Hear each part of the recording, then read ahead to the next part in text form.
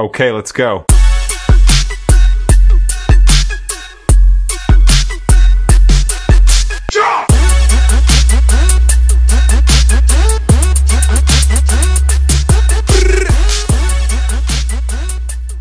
La obesidad es un problema de salud pública en Estados Unidos, afectando a personas de todas las edades y grupos étnicos.